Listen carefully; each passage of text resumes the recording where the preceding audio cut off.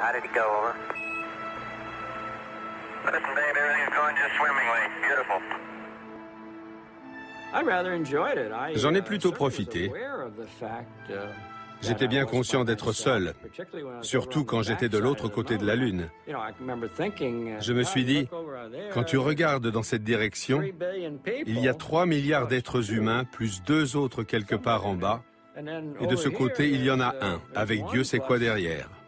Je l'ai ressenti profondément, mais je ne me suis pas senti seul et encore moins apeuré.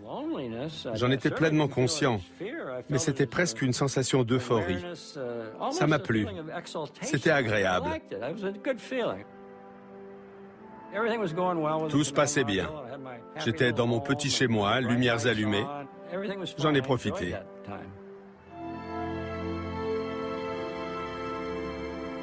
They're going to uh, probably open the hatch of the lunar module around 9 o'clock Eastern Daylight Time, just two hours from now.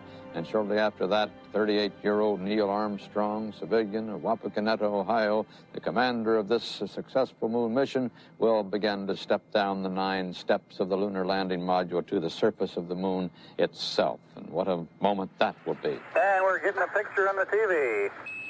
Uh, there's a great deal of contrast in it, and uh, currently it's upside down on our monitor, but we can make out a fair amount of detail.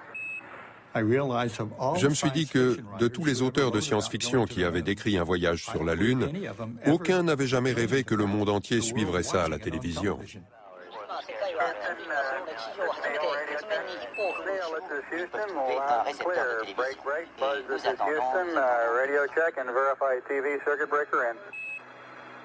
Roger, TV circuit breaker's in.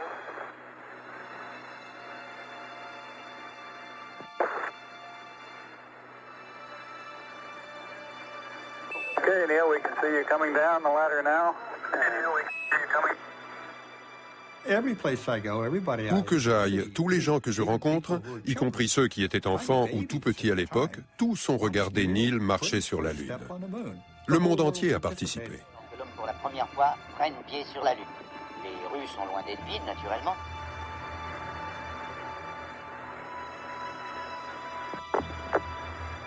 Naturellement aussi, c'est surtout dans les halls d'hôtel.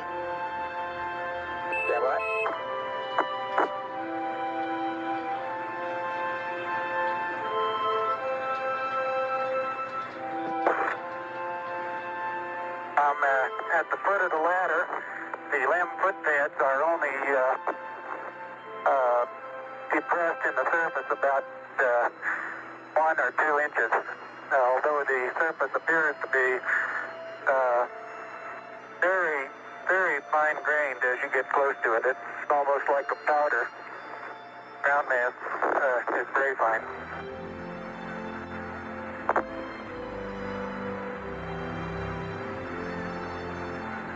Yeah, I'm going to step off the limb now.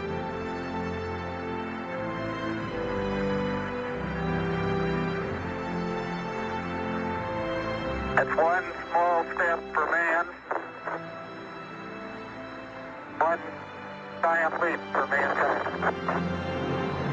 That's one small step for man, one giant leap for mankind.